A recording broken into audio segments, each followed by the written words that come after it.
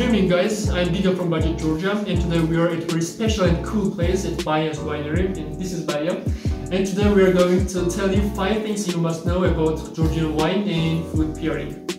Uh, all wine and food has its own taste and aromas so uh, pairing them is uh, guaranteed for a great dinner with a great wine. And also in case of wine and food, structure is the most important thing and in case of wine, we have the special structure from tannins, acidity, and also sweetness and dryness itself. And in case of food, we have the salt, fat, and the body of the food. So both of the ideas is very important to consider. If you choose wine and food uh, in the wrong way, you might uh, lose taste of both of them and you won't be able to enjoy any of them at all. So it's a really important issue. The first wine today we review is Rkatsiteli from Eastern Georgia.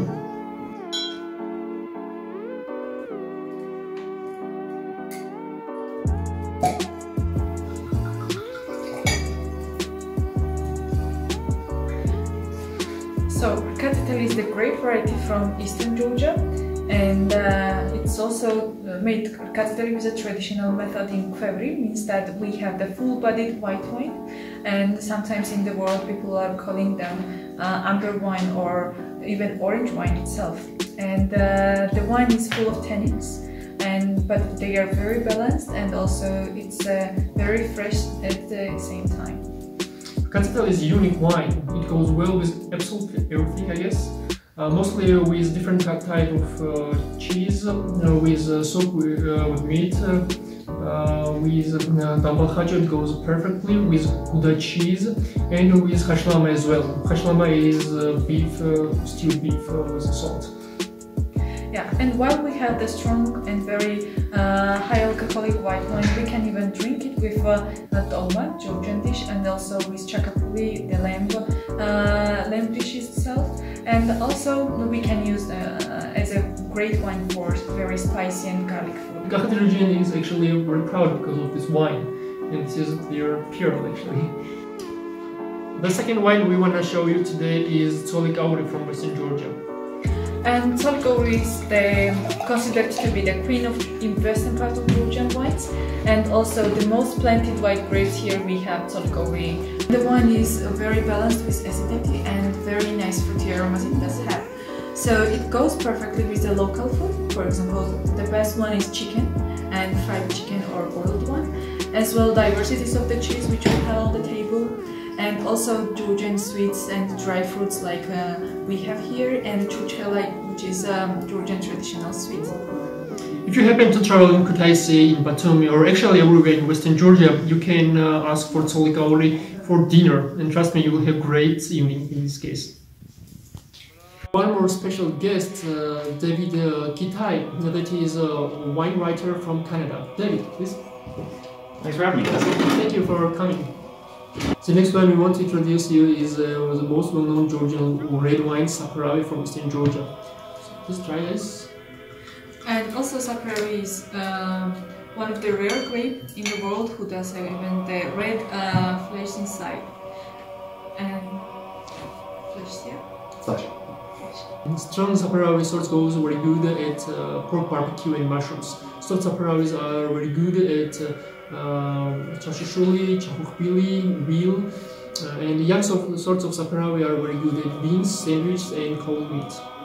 And David, please uh, let us know your, about your experience uh, with saperavi. Yeah, saperavi is usually the like the first, as you said, the first uh, red wine that you'll interact with in Georgia. Mm-hmm. Um, and I think it's a fantastic varietal. It can go with so many different kinds of food. Um, it has that kind of element of spice and that richness that you expect from like a full-bodied fruity red wine. Mm-hmm. But then you get a little bit of this kind of lighter, more fresh acidic edge to it. So that helps it, you know, refresh your palate as you're going through these very long meals. And even outside of just Georgian food, you can pair saperavi with all kinds of different foods, especially actually I find more Middle Eastern and even some Mexican foods. Foods that are kind of harder to find that pairing for, saperavi is a really, really good job. Okay, thank you for your opinion. Let's go to another wine. Now it's time for Otskhanuri sapere, which is uh, red dry wine from Western Georgia. Please. Otskhanuri sapere is one grape variety which is grown in Imereti and in uh, western Georgia. And also it should be said that uh, while growing it's not so easy because the first harvest you can get only after four, five and more years. So uh, winemakers and grape growers are waiting for a long time. But the wine itself has a perfect finish and also is full of fine acidity and uh, some um, fruity aromas. The best dishes for uh, Sapere are um, meat uh, dishes uh, like this, for example, the bean soup, salads, sandwiches, and cold meat. Well, Sapere is a really interesting varietal, I think, because it's part of this whole rebirth of um, artisanal Georgian winemaking after the Soviet Union. It was a great varietal that fell out of favor for the reasons that Baia said, and now a few dedicated growers, including Baia, are kind of bringing it back to Georgia and it's really fantastic. Again, it's a very universal for some of those same reasons as Saperavi. It's got that freshness, but it's got that body. It also has a bit of this like umami feeling.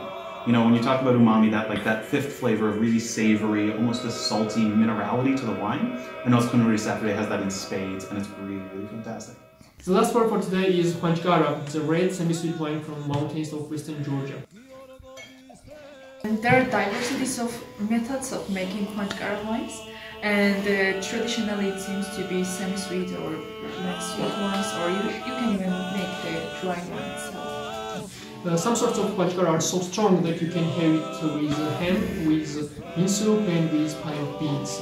The softer ones are better to try with red uh, fruit and soft cakes. Actually, the best food for Khvanchkara is charros that we have out here. Here is churchkhela, some dried fruit, uh, and this lapis. And don't forget to taste Khvanchkara while it's cold, because all semi-sweet wines is better to be tasted while they are cold. Mm -hmm. The beans that Giga mentioned um, are notorious from the region where Khvanchkara is from, from Racha and Lechkumi, where there are some of the highest elevation vineyards in Georgia.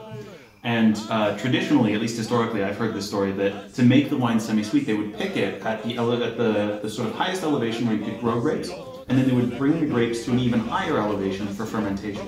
Because it got colder faster at the higher uh, elevation, the wine would almost freeze and the sugar would stay in the wine. Um, what you get with Khvanchkara is a wine that's very, very elegant, that again has all of this kind of food pairing capability, but is a little softer, a little more gentle, something you need to kind of coax a little bit, um, but the result can be fantastic. So, thank you for watching. This was our 5 tips about making Georgian wine and food. Subscribe our channel and follow us for more videos. Thank you for watching.